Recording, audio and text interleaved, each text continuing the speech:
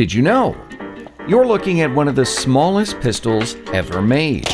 Designed by an Austrian watchmaker, the Kolibri fired the smallest commercially available centerfire ammunition, the 2.7mm Kolibri, which is slightly larger than a grain of rice. Designed in 1914, the weapon actually appears in the video game Battlefield 1, where it's about as effective as you might think. It does very little damage, but it has one of the best headshot multipliers in the game, making it the perfect humiliation weapon. The Kolibri weighs less than 8 ounces and is held with only two fingers. Just don't drop it, you might not be able to find it again.